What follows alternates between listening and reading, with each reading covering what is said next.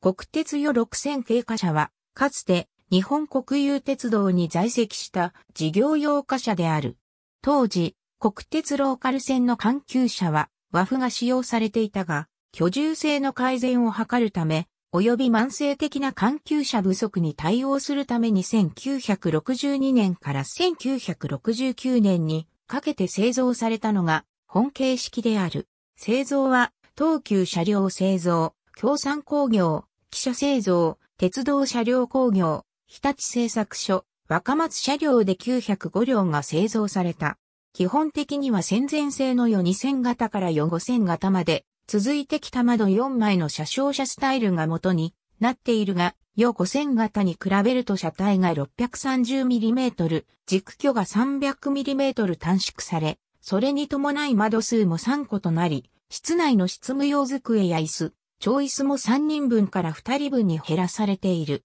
また、屋根も深い R のカンバス張り屋根を持った4 5000型に対し、4 6000型は緩やかな R を持つ浅めの鋼板屋根となり、換気用ベンチレーターも1個に減っている。なお、暖房用ストーブは当初石炭仕様のダルマストーブであったが後に石油ストーブに改装された車両も多数存在し、識別のため妻面左右に白線が表記された。都色は黒である。常備液が定められ、日本全国で活躍した。走り装置はよ5000型と同様の重ね板バネを用いた二段リンク式軸箱指示となっており、軸距は短くなったものの、長く柔らかいバネを使用していることもあって、実速 85km で走行可能である。全長は 7200mm、全幅は 2640mm、全高は 3621mm、地上は8.8トンで、換算量数は0.8であった。